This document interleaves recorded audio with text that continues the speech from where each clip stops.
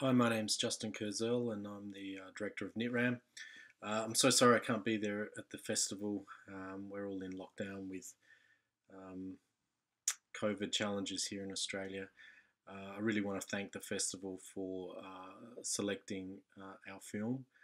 Um, it's a it's a film that we are all uh, very passionate about. It was made with a lot of artists that um, gave a lot of their time and uh, and and focus. It's about an event in Australia that is a very very dark chapter in our uh, history, and uh, was heavily inspired by I guess a conversation about uh, gun reform uh, here in, in in Australia.